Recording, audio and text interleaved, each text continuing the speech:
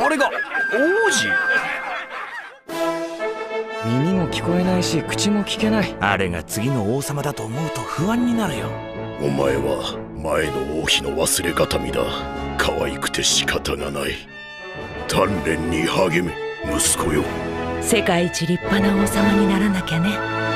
約束。俺は影だ。お前名前は？あええ。ボッジか？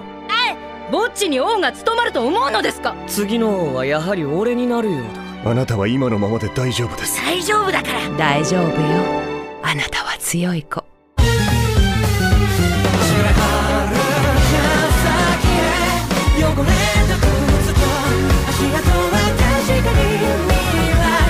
何しに来たのかな？ボスの息子よ。どなたですか？ボッジ様ぼっち王子ボッチ頑張